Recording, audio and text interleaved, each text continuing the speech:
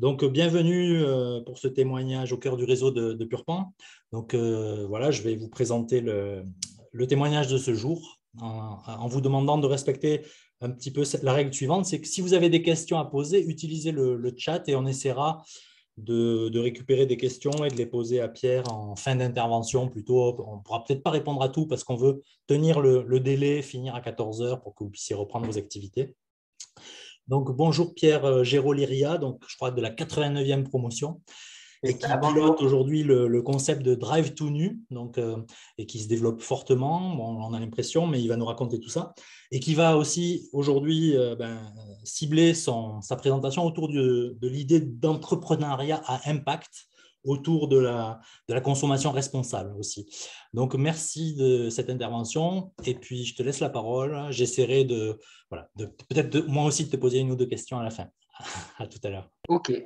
Ben, bonjour à, toutes et tous. Merci pour, euh, pour votre intérêt pour euh, ce témoignage. Euh, du coup, donc, je suis Pierre Géroliria, ça a déjà été dit, de la 89e. J'ai donc fait pur pan au début parce que je voulais être ingénieur forestier. Donc, c'est c'est une voie un petit peu curieuse, mais, euh, mais, euh, mais j'avais bien aimé Purpan, j'avais bien aimé les visites les portes ouvertes et j'ai adoré faire Purpan aussi. Euh, pendant ma, scolarité, j'ai un peu réorienté mon, projet professionnel. J'ai plutôt décidé de faire de l'humanitaire et donc Purpan est un très beau terrain de jeu et d'études pour ça, puisqu'en fait, j'ai eu la chance de faire pas mal de stages en pays en voie de développement. J'ai eu la chance d'aller au Népal et au Mali et puis entre, euh, j'ai eu la chance aussi en première et en deuxième année d'avoir des stages aménagés pour pouvoir aller faire des missions humanitaires euh, au Kenya et à Madagascar, par exemple. et finalement, j'ai été un peu déçu par l'humanitaire et donc j'ai décidé de le faire un peu à ma sauce en France. et j'ai décidé de le faire via le commerce et via l'entrepreneuriat. Et donc, c'est un peu le cœur de, mon, de ma présentation aujourd'hui. Donc, je vais vous je vais projeter des diapos. Donc, après avoir fait Purpan, je suis parti en VI en VIA à, San Francisco, euh, où j'ai été euh, euh, responsable export, enfin consultant export pour les entreprises françaises de, l'équipement pour l'industrie agro qui souhaitaient exporter d'abord en Californie, puis aux US en général. Et puis pour terminer, j'ai fini par être consultant pour le territoire nord-américain en entier. À la suite de mes deux ans de VI, je suis rentré en France et je suis devenu caviste, changement de, changement d'orientation, mais pas vraiment en fait parce que j'avais très envie de me former à la vente directe. Et c'est une expérience que j'ai adorée, puisque euh, quand on est caviste, on vend du bon vin en général et on vend aussi du plaisir aux gens. Donc, les gens qui viennent chez le caviste plutôt qu'aller chez, au supermarché pour acheter du vin, c'est parce qu'ils vont recevoir des amis, ils veulent se faire plaisir. Et j'ai adoré euh, cette, mission qui était une mission de conseil au final, savoir euh, interpréter ce que les gens allaient manger, quel budget ils avaient, puis leur faire plaisir avec, avec ces données-là. À la suite de ça, j'ai été recruté par un ancien client de San Francisco qui m'a nommé responsable de zone export pour euh, à, peu près un tiers du globe pour des autoclaves. Donc, euh, on parlait des purs panels, les gens généralement savent ce que c'est qu'un autoclave. Et donc, j'étais responsable de, de l'Amérique, de, l'export de ces autoclaves pour une entreprise qui s'appelle Steriflow, qui est le leader mondial des autoclaves, qui est français, et qui s'occupe, et donc je m'occupais de, de l'Amérique du Nord, Amérique centrale Caraïbes, Amérique du Sud, Afrique de l'Ouest, Afrique du Nord et Europe du Sud. Donc, vaste chantier. Et j'ai commencé donc ma mission euh, avec euh, euh, un objectif de chiffre d'affaires sur ma zone d'un million d'euros à peu près, et j'ai terminé avec 6 millions. Donc, ça a été hyper, hyper enrichissant pour moi et beaucoup, de, beaucoup d'apprentissage, et notamment parce que mon, mon supérieur était quelqu'un de très chevronné qui avait toujours des, des réponses claires, précises et, et, qui me laissait énormément d'autonomie. Donc, il m'a laissé gérer ma zone un petit peu comme je voulais. Et entre parenthèses, avant de faire tout ça, donc entre l'expérience san franciscaine et l'expérience de caviste, j'ai essayé de monter pour la première fois un drive zéro déchet qui s'appelait Drive tout nu à l'époque euh, euh, déjà. Et donc, euh, je, précise ça parce qu'en fait, c'est une idée qui me trottait dans la tête et donc, je n'ai pas réussi en 2012 à le monter pour plein de raisons différentes. La raison première, c'est probablement parce que je m'y suis pris comme un manche. La raison seconde, c'est probablement aussi parce que j'étais un petit peu en avance sur les mœurs de nos concitoyens. C'est-à-dire qu'en 2012, il n'y avait pas encore d'épicerie zéro déchet en France. Drive zéro déchet, c'était un peu inaudible pour les, pour les, potentiels financeurs et pour les, pour les accompagnateurs aussi. On y reviendra parce qu'on a été beaucoup accompagnés sur le projet.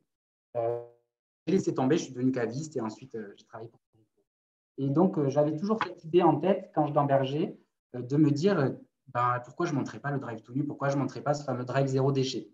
Et une, des choses qui m'a aidé à passer à l'action, c'est qu'on a été sélectionné par l'école des acteurs du changement qui s'appelle Ticket for Change et qui est en fait un incubateur qui ne dit pas son nom et qui accompagne les, entrepreneurs à impact de l'idée au premier projet.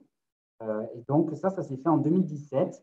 on, a, on a participé avec Salomé, qui est mon épouse et mon associé, à euh, un, séminaire de Ticket for Change qui présentait un peu toutes les entreprises, certaines entreprises qui avaient accompagné les années précédentes.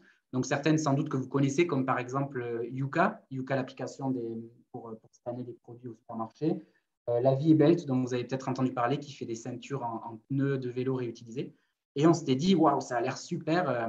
c'est eux qui, qui pourraient nous aider à monter le Drive to Nu. Et on s'est fait la promesse à ce moment-là qu'on allait postuler et que si on était pris, on quittait tous les deux nos, nos CDI respectifs à quelques mois de nous marier et qu'on se lançait dans la vaste, euh, dans la vaste aventure de l'entrepreneuriat impact. Donc l'entrepreneuriat impact, c'est le fait de considérer que l'entreprise peut être au cœur du changement pour le mieux de, de, la société. Donc ça peut être des changements sociétaux, des changements environnementaux. Euh, nous, clairement, le Drive to ça s'oriente vers euh, l'environnement, mais pas que, on y reviendra. Euh, c'est un peu holistique en termes d'impact. Donc, euh, euh, donc, on a été pris, donc sélectionné par Ticket for Change pour participer au parcours entrepreneur de 2017. Donc, avec 50 autres porteurs de projets, on a fait un, accompagnement qui a duré six mois, qui était assez intensif et qui, du coup, nous aidait à, à, structurer un peu notre étude de marché. En, fait, il nous aidait d'abord à tomber amoureux de notre problème. Tomber amoureux du problème, c'est la base pour Ticket for Change. C'est-à-dire qu'au lieu d'être amoureux de notre solution Drive Zéro Déchet, il fallait qu'on soit amoureux de réduire euh, la production de déchets par euh, la société en général. Et donc, euh, il nous disait, si votre solution de drive zéro déchet ne marche pas, il ne faut pas hésiter à pivoter, à changer d'idée. Bon, on avait la chance d'avoir déjà pas mal trituré notre projet et y avoir pas mal réfléchi depuis 2012, donc notre, on n'a pas trop pivoté. Mais par contre, le parcours nous a permis d'échanger, de, confronter nos idées, nos intuitions à plein de porteurs de projets et plein de pionniers de l'entrepreneuriat social et solidaire. Et donc, de, de, développer notre argumentaire, de vraiment euh, creuser aussi certains sujets qui étaient un peu bancaux, certains, concepts qui étaient un peu bancaux, et euh, finalement d'arriver avec, euh, avec un concept de drive zéro déchet qui, était assez abouti. Et donc, à la suite du parcours entrepreneur, on a fait ce qu'on appelle dans la Startup Nation, dont nous ne faisons pas partie, un MVP, Most Valuable Product, c'est-à-dire en fait un test terrain qui a vocation à un peu faire parler du projet, mais surtout à valider qu'il n'y avait pas que Salomé et moi qui avions envie d'un drive zéro déchet à côté de nous, mais que c'était aussi un, euh, une envie, un besoin de, plus de monde et qui permettait de rendre une entreprise viable. Donc, cette phase de test, elle a duré quatre mois. Elle, s'est euh, euh, déroulée un mois à Belbureau, donc c'est tout, tout dans la zone toulousaine. Donc, un mois à Belbureau, donc zone périurbaine vraiment proche du rural. Un mois à Ramonville-Saint-Agne, un mois à Saint-Aubin, donc dans les quartiers, dans les faubourgs et un mois à Blagnac. Et à la suite de ça, en fait, on a. Donc, moi, je suis très chiffre, hein, M. Coulombel euh, m'a bien appris ça. Et donc, euh, j'avais, euh, j'ai tout mesuré, tout calculé, et en me disant, ben, ça fait tout à fait sens d'ouvrir un vrai drive zéro déchet, puisqu'il y aurait de quoi créer une entreprise pérenne. Et donc, à la suite de cette phase de test, on a validé le fait que on allait ouvrir un premier drive, un vrai drive en, en dur zéro déchet, et donc ce serait dans la zone de Blagnac, puisque c'est là que notre phase de test avait le mieux marché. Et donc, très concrètement, la phase de test, c'était pendant une semaine, nos clients pouvaient faire leurs courses sur le. On avait fait un site web bêta. Ils venaient récupérer leurs commandes tous les jeudis entre 16h et 19h. Et nous, donc, on préparait les commandes le jeudi matin et on, les mettait dans les meilleures dispositions avec un assortiment à peu près correct pour qu'ils puissent tester et que ce ne soit pas juste du mécénat, entre guillemets, mais qu'ils aient vraiment leurs courses au bon prix, avec la bonne qualité. Donc, on a testé nos prix, on a testé la manière dont on ressource, on a testé euh, euh, la communication autour du projet et on a testé, très important, la consigne inversée. Puisque, euh, ah, je ne l'ai pas expliqué, mais donc comment le drive to fonctionne? En fait, les clients font leur course sur le drive to Nous, on prépare la commande, donc aujourd'hui, plus en phase de test, en une heure minimum. Et puis, euh, on peut commander jusqu'à 7 jours en avance. Et ensuite, le client vient récupérer sa commande. Tout est déjà conditionné dans des emballages réutilisables, donc soit des bocaux en verre, soit des sacs en toile. Et donc, le client, le temps d'attente sur place, c'est entre une et trois minutes. Plus s'il a envie de discuter des produits, nous, on est très heureux de discuter de nos super produits. Mais voilà, s'il est pressé, la promesse, c'est qu'il peut repartir en, une minute avec toutes ses courses du quotidien. Donc, quand je dis toutes ses courses, c'est vraiment toutes ses courses. On a euh, aussi bien des produits alimentaires que cosmétiques que produits ménagers. Dans l'alimentaire, on a du frais, du sec, de la crèmerie, de la viande fraîche, de la viande stérilisée, et, donc, on source nos produits selon trois critères qui sont très importants et sur lesquels on ne déroge pas. Le premier, c'est bien sûr que nos producteurs ou nos fournisseurs jouent le jeu du zéro déchet avec nous. Le second, c'est que euh, on s'engage à ce qu'au moins 60% des produits qu'on distribue soient issus d'un périmètre de moins de 100 km autour du point de vente. Et au-delà de l'aspect euh, local, il y a aussi l'aspect circuit court. On est le seul intermédiaire entre les, producteurs et nos, clients. Et le troisième critère de choix, c'est la qualité des produits. Donc déjà, tous nos produits sont goûtés euh, ou testés dans le cadre de, produits cosmétiques et, ménagers. Et donc, tout est, est bien ou bon, voire très, très bon. Euh, et au-delà de ça, donc c'est que des produits qui sont bien faits, euh, c'est-à-dire qui sont soit bio, donc euh, avec un label bio, soit assimilés bio.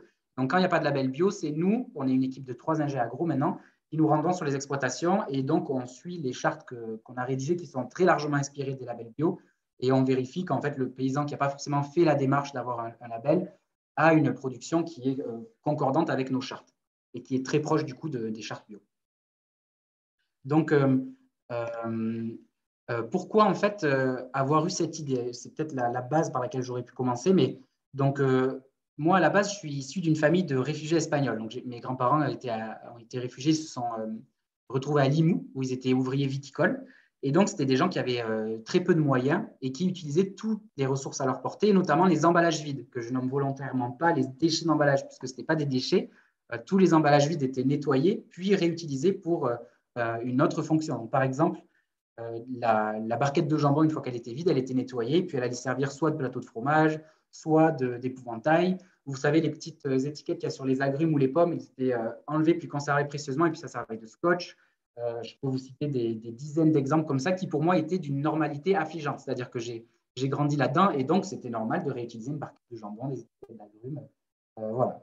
Et, donc, quand je suis, quand du coup, je parlais de mes stages de pur pain en pays en voie de développement. Et peut-être qu'une des choses qui m'ont le plus marqué dans ces pays-là, c'est la quantité de déchets qu'on voit s'accumuler dans les rues, dans les arbres, dans les rivières. Pour ceux qui sont allés, vous voyez ce que je veux dire. Et puis même ceux qui ne sont pas allés, on voit des photos souvent. Et je me suis dit, tiens, si dans ces pays-là où finalement ils font, ils consomment un peu comme mes grands-parents, c'est-à-dire qu'ils consomment moins qu'un Français moyen, ils achètent moins qu'un Français moyen et ils réutilisent plus, et pourtant ils génèrent tous ces déchets. Combien nous en France on génère de déchets? Et dont on ne se rend pas vraiment compte parce qu'il euh, y a une forme de magie à mettre sa poubelle dans le bac à ordures et puis après, c'est pris en charge par un système de collecte euh, très bien organisé, euh, et heureusement. Mais voilà, ça fait qu'on n'a pas l'aspect visuel de la production de déchets. Et donc, les chiffres, vous les avez sous les yeux. Donc, un Français produit en moyenne 590 kg de déchets par an, et la moitié de ces déchets, ce sont des déchets d'emballage avec un E, et, et, qui sont, je trouve que c'est presque encore plus marquant que les 590 kg de déchets, de déchets par an. Et donc, pour info, le traitement des déchets en France, ça coûte 17 milliards d'euros par an. Donc, euh, en ces périodes troublées, 17 milliards d'euros, on saurait quoi en faire euh, pour, euh, pour faire plein de choses. Donc, le constat, c'était ça. L'autre constat, c'était qu'en fait, il y a plein de gens qui veulent consommer de, façon responsable. En, en, 2017, donc quand on s'est lancé, il y avait une, une étude de l'Observatoire de la consommation qui avait déterminé que 84% des Français voulaient consommer de façon plus responsable, mais ne savaient pas comment faire. Parce euh, autour de chez eux, ou en tout cas pas de solution suffisamment simple. Bien sûr qu'il y avait des solutions, il y a les AMAP, il y a la ruche qui dit oui, etc. Mais pour eux, ce n'était pas assez simple pour que ça remplace toutes leurs courses du quotidien, ou en tout cas leurs grosses courses qu'ils allaient encore faire en grande surface. Et donc, en observant un peu la famille de Salomé, donc mon associé, euh, on a vu, euh, du coup, on a un peu compris pourquoi ça passait pas dans les mœurs de consommer responsable, ou pourquoi ça ne devenait pas normal, mainstream. En fait, la famille de Salomé, c'est une, une famille tout, à fait normale et tout à fait au courant qu'il y a une urgence environnementale et qu'il faut faire quelque chose et que chaque geste va compter. Mais si c'est trop compliqué de faire ce fameux geste, ce ne sera pas fait. Euh, parce que, en fait, c'est des gens qui ont beaucoup de choses à faire, qui sont assez pressés, qui ont euh, des enfants à, trimballer à gauche, à droite, qui ont euh, un emploi très prenant. Et donc, bah, ils continuent d'aller chez Chronodrive ou à Leclerc parce que c'est plus simple, même s'ils aimeraient consommer mieux. Et à partir de là, on s'est dit, bah, en fait, c'est ça la solution. On va s'inspirer de la simplicité d'usage de la grande distribution, pousser vraiment à son maximum via le drive, et on va créer un hybride avec la consommation responsable, c'est-à-dire les épiceries zéro déchet, euh, les, euh, les AMAP, les directs à la ferme, directs producteurs, etc. Et on a créé cette espèce d'hybride, le drive tout nu, euh, qui mélange un peu les deux genres, le meilleur des deux genres. Donc, ça, j'en ai déjà parlé. Le choix des produits, j'en ai déjà parlé. Et en effet, tout ça, c'est pour servir l'impact. Donc, à la base, L'idée, c'est de s'inspirer des, drives et de la grande distribution en général, mais pour servir une cause à impact. donc, en premier lieu, bien sûr, l'environnement. Lorsqu'on consomme zéro déchet, en fait, on ne produit pas de déchets et donc on a un, impact moins grand sur l'environnement parce que les, déchets, il n'y a pas seulement le traitement des déchets, mais il y a aussi la production des emballages à usage unique, donc l'extraction de matières premières ou le recyclage, puis la transformation, le transport, etc. Euh, l'autre aspect environnemental, c'est les circuits courts et le, local, même si ça a moins d'impact. Et le dernier aspect environnemental, qui est peut-être celui qui a le plus d'impact, c'est les procédés culturaux euh, qui sont utilisés pour, faire, euh, pour produire nos produits. Le deuxième impact qui est un peu moins induit par le, par le nom, bah, c'est la santé de, des, gens et de nos clients. Puisqu'en fait, lorsqu'on consomme, enfin, je ne vais pas vous apprendre ça des pure mais lorsqu'on consomme local, on a la chance du coup d'avoir des produits qui sont plus à maturité, donc plus riches en termes de, nutrition et puis bien, bien plus goûtus.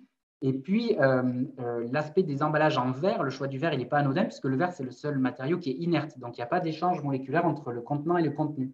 Euh, ce qui fait qu'on évite les, perturbateurs endocriniens, dont on a pas mal entendu parler ces derniers temps, notamment les phtalates et les bisphénols A, qui sont responsables de, cancer ou de stérilité masculine en particulier. Et donc, grâce au verre, on évite tous ces, ces, toutes ces molécules-là. Et enfin, le troisième impact qui est encore moins évident, c'est pour le porte-monnaie. Donc, lorsqu'on consomme zéro déchet, euh, euh, on, paye moins cher en fait pour un, couple produit-emballage, puisque l'ADEME a déterminé en, 2016 qu'un emballage compte pour 10 à 40% du prix total d'un produit. Donc, pour faire synthétique, lorsqu'on passe à la caisse du supermarché, sur 100 euros, il va y avoir entre 10 et 40 euros qu'on va mettre directement à la poubelle euh, en rentrant chez soi. Et donc, le constat de départ, c'est que aussi grâce, à, grâce, à, grâce au drive tout nu et grâce à une consommation zéro déchet, on permet avec un même budget de consommer des produits de meilleure qualité. Et du coup, je vais citer un de mes profs de pur pain, dont je tairai le nom, mais il m'avait dit en cours de nutrition euh, qu'il ne fallait pas se moquer des, charcuteries euh, premier prix. Euh, parce que en amphi, un jour, on avait rigolé en, se moquant de charcuteries premier prix, de cochonneaux en particulier, parce qu'en fait, ça permettait à tout le monde de manger de la viande. Sauf que dans les faits, en fait, la charcuterie premier prix, c'est quand même pas terrible pour la santé. Et je m'étais dit, sur le coup, il m'avait vraiment convaincu. Je m'étais dit, c'est génial ce qu'il dit. Et en fait, en y repensant, je me suis dit que finalement, ça veut dire qu'on accepte que les gens qui ont moins de budget, ils mangent des choses qui sont mauvaises pour la santé. Euh, et donc, grâce à, grâce à ce qu'on a mis en place, l'ambition, c'est d'avoir des, prix qui permettent à tout le monde de consommer zéro déchet et, euh, qualité. Euh, j'ai rajouté aussi qu'on est une entreprise certifiée ESUS, c'est-à-dire qu'on est une entreprise à mission. Donc, au-delà de ces ces aspects environnementaux, sociaux, on est aussi à l'intérieur euh, certifié ESU, c'est-à-dire qu'on limite les écarts salariaux entre, entre tous les salariés, on, cadre la, rémunération du capital et puis l'objectif social et environnemental est listé en premier, est cité en premier dans nos statuts. Euh, et au-delà de ça, donc au-delà d'être certifié, donc comme on est une, entreprise euh, qui a qui a fait des levées de fonds, donc on a des investisseurs qui sont rentrés, et donc, c'est des investisseurs de l'économie sociale et solidaire qui suivent, au même titre qu'ils suivent nos performances financières, ils suivent nos performances d'impact. Donc là, j'en ai listé 5, mais en fait, il y en a 14 dans les faits. Mais c'est les 5 qui me paraissent les plus, euh, les plus euh, pour moi, significatives. Donc d'abord, le pourcentage de produits locaux et en circuit court dans nos ventes. Ensuite, la euh, mesure quantitative des déchets d'emballage évités par client au drive tout nu.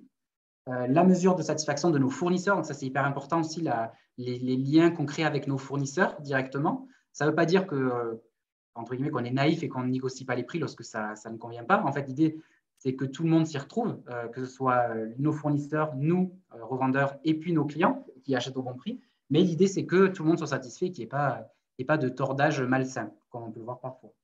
ce qu'on mesure aussi, c'est le pourcentage de clients qui n'appartiennent pas aux catégories de CSP. Et ça, c'est important dans l'idée de démocratiser toujours plus le, le drive tout nu. En fait, ce qu'on constate, c'est que lorsqu'on ouvre un drive zéro déchet, un drive tout nu, les premiers clients sont souvent des, CSP, qui sont plus informés, peut-être plus sensibilisés aux urgences environnementales. Et ensuite, plus le drive est mature, plus le panel client va s'ouvrir et donc le pourcentage de, CSP, va être moins, moins significatif et moins prédominant dans le pourcentage. Parce qu'aujourd'hui, à Bosel, par exemple, qui est notre premier drive tout nu, on est à peu près à 40% de CSP, au lieu de 75% lorsqu'on a ouvert. Euh, et euh, ensuite, dernier critère, c'est le nombre d'actions de sensibilisation à une consommation zéro déchet. Et je rajoutais et responsable euh, pour montrer qu'en fait, ce n'est pas plus cher qu'ailleurs, ce n'est pas plus compliqué qu'ailleurs. Et ça, c'est hyper important. Donc, où en est l'aventure? Donc, je vous ai parlé de Ticket for Change, je vous ai parlé de la, phase de test et on en est resté là. Donc, après, une fois la phase de test réussie, il a fallu qu'on finance notre projet. Donc, ce qu'on a fait pour démarrer, c'est qu'on a fait une campagne de crowdfunding sur euh, la plateforme Ulule qui nous a permis de lever 10 000 euros Et grâce à ces 10 000 euros, on a pu investir dans les premiers équipements du drive et puis on a pu aussi faire effet levier pour les banques. Donc, je vous disais que j'avais tout mesuré pendant la phase de test. Donc, lorsqu'on est allé voir les banques avec déjà une phase de test bien, bien chiffrée, bien mesurée, qui du coup, c'était par, par, projection, était devenu un business plan qui était plutôt solide. Et puis, 10 000 euros de, crowdfunding. Et au-delà des 10 000 euros, il y avait à peu près 300 contributeurs qui avaient participé au crowdfunding. Donc, ça montre aussi qu'il y avait de l'engouement pour le projet, au-delà de, de, nous, puis nos familles, nos amis. Et donc, ça, ça nous a permis d'avoir un crédit de, suffisant pour ouvrir le premier drive to qui est, donc à Beauvais.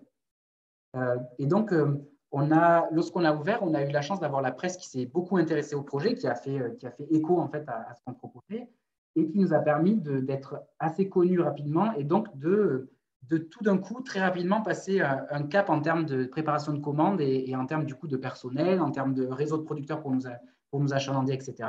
Donc, ça a été une vraie phase, une vraie crise de croissance dès les premières semaines, mais c'était génial, ça nous a forcé à nous organiser, à nous structurer. Et au-delà de ça, ça a été aussi un, euh, formidable moyen d'avoir plus d'impact, puisqu'à ce moment-là, il y a des, milliers d'entrepreneurs qui nous ont contactés. Donc, on a exactement 1300 et quelques euh, entrepreneurs de partout en France qui nous ont contactés, qui nous ont dit J'aimerais moi aussi ouvrir un drive tout nu vers chez moi. Est-ce que vous pouvez m'expliquer comment faire? Alors, à l'époque, on n'était vraiment pas prêt, puisque on, disons qu'on compensait le manque d'organisation par de la main-d'œuvre. Donc, je vous laisse imaginer le, compte de résultat. On avait une ligne main-d'œuvre très haute et puis euh, le reste qui ne suffisait pas pour le compenser. Quoi.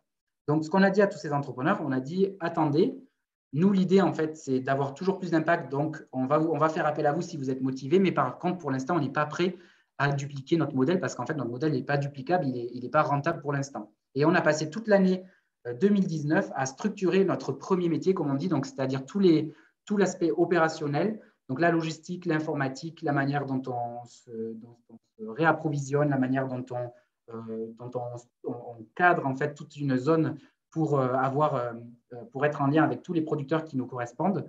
Et fin 2019, on s'est enfin fin 2019, début 2020, on s'est senti prêt à répliquer, sauf qu'il y a eu le Covid, donc on a, on a mis tout ça en stand-by. Et on s'est concentré sur notre drive, puisqu'en fait, le Covid nous a fait passer On a, fait plus 40%, plus, pardon, plus 400% à peu près en, une nuit. En fait, je ne sais pas si vous vous souvenez du discours de Macron qui dit Nous sommes en guerre, machin, le 12 mars. Eh bien, lorsqu'il a, terminé son, discours en disant Vive la République et vive la France, sur les, sur stades du Drive to New, on voit la, petite courbe de fréquentation et de passage de commande qui fait x4 euh, tout d'un coup. Et donc, euh, ça, ça nous a obligés, dans un contexte hyper tendu euh, sanitaire de stress de nos employés, puis de nous aussi, mine de rien, parce qu'on venait d'avoir notre, notre premier enfant qui est né le 11 mars, donc le début du confinement, on l'a géré depuis la maternité. Euh, voilà, c'était assez intense de gérer tout ça. Et puis, dans, dans ce contexte sanitaire où on avait peur de contaminer les gens et puis d'être contaminés nous aussi, on a on refusait d'embaucher des gens en plus. Donc, on a tourné avec le même nombre de personnes pour faire x4. Et donc, ça, ça nous a obligés à encore rationaliser notre logistique, la manière dont on était livré, etc. Et ça s'est fait euh, plutôt sans heurts, en fait, mis à part l'angoisse en fait, de, chacun d'être contaminé par les clients. Sinon, sur le reste, en fait, tout le monde a joué le jeu pour que ce soit carré. Et ça nous a vraiment fait passer une, une, marche en termes de, compétitivité opérationnelle et puis de, puis de confort de travail aussi. Donc, euh, suite, à, suite au confinement, donc, on a ouvert notre deuxième drive tout nu à Balma-Gramont, donc en banlieue toulousaine encore. Le troisième drive tout nu a suivi pas trop longtemps après, en mars 2021, à Montaudran, toujours en banlieue toulousaine. Et puis à ce moment-là, on s'est senti prêt à répliquer en franchise. Et c'est là qu'on a ouvert notre première franchise sociale. Euh, j'y reviendrai si vous voulez. Euh, à Lille. Donc, euh, la franchise sociale, c'est une, une, il n'y a pas vraiment de traduction juridique. C'est un contrat de partenariat avec licence de marque et licence logicielle. Et donc, en fait, c'est un, un entrepreneur indépendant qui ouvre un drive tout nu qui, qui, bénéficie en fait de tout notre savoir-faire et qui nous paye une redevance en échange. Voilà. Donc, notre premier franchisé a ouvert à Lille en avril 2021. Notre deuxième à Chambéry en novembre 2021. Et là, on va bientôt ouvrir à euh, Bordeaux et euh, je, je, tairai les autres noms, mais il y a d'autres villes qui vont ouvrir euh, un petit peu plus au nord avant la fin de l'année aussi. Donc, développer notre ambition, en fait, c'est vraiment de. Alors, nous, on rêve d'un monde zéro déchet. Donc, on sait que ça, on n'y arrivera pas tout seul, juste à Beauzelle, à Balmagramont et à Montaudran. Et donc, on veut développer un réseau à l'échelle nationale. donc, je vous ai déjà parlé des, drives qui ont déjà ouvert. Et ce qu'on aimerait, en ce qu'on aimerait, ce qu'on vise pour fin 2026, c'est d'avoir 49 drives en franchise et 8 drives en propre. Ce qu'on appelle en propre, c'est qu'ils sont gérés par le Drive to SAS, par, nous-mêmes en fait. Et ce qui est plus particulier encore, c'est qu'on va développer nos drives par grappe. C'est-à-dire qu'on va les développer par, euh, par unité urbaine, par bassin urbain. Euh, et donc, il faut, imaginer qu'un drive tout nu, ce n'est pas une très grosse surface, c'est plutôt un, petit, une petite surface qui sert 1000 à 2000 clients par mois. Et donc, c'est des, des, petites zones de chalandise qui font 5 minutes, 5 km autour du point de vente. Donc, l'idée, c'est d'ouvrir plein de petits drives en périphérie des grandes villes. Euh, et ces petits drives sont articulés autour de ce qu'on appelle le hub. Et le hub, c'est là où on va mutualiser toutes les opérations de nettoyage des bocaux, puisque c'est nous qui nettoyons avant de remettre dans le circuit, d'alicotage. L'alicotage, c'est le fait de remplir des bocaux. Donc, on passe de gros volumes livrés par nos fournisseurs à plein de petits volumes dans des bocaux. Euh, et aussi mutualiser les achats, puisque ça permet, en fait, via en optimisant les achats et en centralisant les achats, on peut éviter à nos fournisseurs de dépalitiser ou en tout cas de, payer trop cher en transport et donc on a accès à des meilleurs prix. Voilà, euh, alors en termes de timing, je ne sais pas si on est bon. En tout cas, la présentation est finie. Oui, je crois que j'ai même débordé, pardon. C'est très, très bon. Euh, c'est très, très bon. Bravo. Merci. et félicitations parce que je trouve que la présentation a été limpide et, le projet est très, très intéressant. Donc, Merci. tout ça, bravo. Moi, euh, alors, j'ai pas eu, je pense, pense pas avoir eu de questions euh, posées par nos, amis, euh, mais par contre, j'en ai quelques-unes. Donc, pour revenir un peu sur, j'ai retenu, moi, ça m'a fait rire l'origine en disant mes, mes grands-parents faisaient très attention aux emballages. Moi, j'ai récemment découvert que dans l'épicerie de mes grands-parents en Aveyron, les gens nettoyaient leurs boîtes de conserve, les ramenaient, on les découpait et on refaisait le sertissage. Donc, les ah boîtes de conserve, on les amenait jusqu'à cinq fois à la sertisseuse. Et euh, des, fois, il y avait des boîtes de concert de 3 cm de hauteur à la fin, mais, mais quand même. Donc, pour dire que l'économie circulaire, on l'a un peu oublié, mais elle existait déjà. Super. Ensuite, je retiens de l'intervention un truc euh, très intéressant, c'est tomber amoureux de notre problématique ou de notre finalité avant de tomber amoureux de notre projet. Ça, je pense que ça mérite d'être de faire l'objet de pas mal de, réflexions pour tout le monde. Et, euh, et puis, ça m'intéresse aussi bah, de, de, voir un petit peu euh, en termes de gouvernance, parce que ça, c'est un sujet qu'on n'a pas abordé. Donc, comment tu répartis les choses entre toi et ta compagne? Est-ce qu'il y a d'autres actionnaires, entre guillemets, qui est parti sur cette aventure et comment ça fonctionne au niveau gouvernance quoi? Ok, ouais, alors en termes de gouvernance, c'est effectivement une, un sujet très, très, très important lorsqu'on entreprend, en couple en particulier. Euh, donc, on a chacun nos domaines de responsabilité euh, qui correspondent en fait à nos parcours respectifs. Moi, du coup, Pure Pané, elle, elle a fait Sciences Po. Euh, et donc, moi, je, on, se répartit. En fait, moi, je m'occupe du savoir-faire, c'est-à-dire le produit, la vente, la logistique. Et elle, elle s'occupe du faire-savoir, c'est-à-dire les partenariats, la com, les relations presse, etc. Quoi. et donc, réparti comme ça, ça veut dire que c'est nous, c'est chacun qui mots sur chacun de ces sujets. Ça, c'est super important. Il n'y a pas d'ingérence de l'un ou de l'autre sur, nos sujets propres. Donc ça, c'est comme ça que ça marche au quotidien dans le Drive to Nu.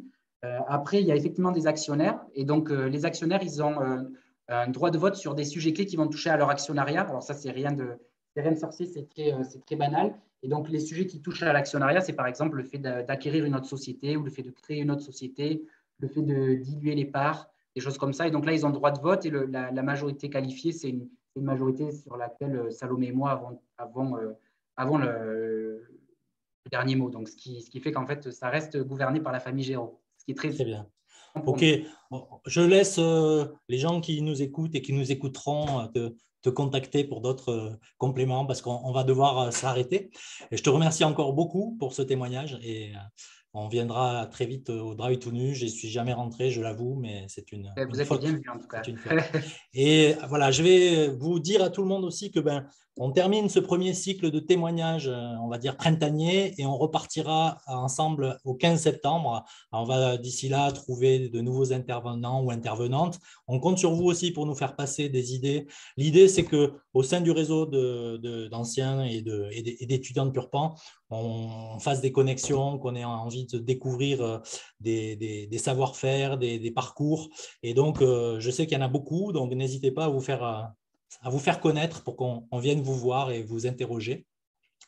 Et puis, très, à très court terme, je rappelle à tout le monde qu'il y a l'Assemblée générale de Purpan Alumni ce samedi au domaine de la Motte, euh, à démarrage à 9h30, pique-nique avec plein de producteurs euh, purpanais ou, ou, de proximité qui viendront euh, vendre leurs produits. Vous pouvez venir aussi en acheter. Enfin, c'est vraiment l'occasion de venir. Cette AG, vous pouvez aussi la suivre en visioconférence.